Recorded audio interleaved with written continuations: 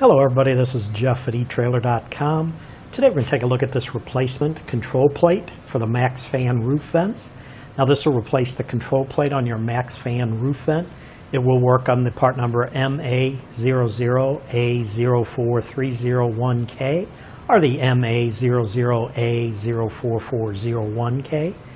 With both of those vents we do sell separately on our website. This part will also work with the deluxe vents and the plus model vents. These are, this part is a white plastic construction. It does use the existing hardware for installation. A few dimensions on this I want to give you. Overall width is about 13 and 3 sixteenths of an inch.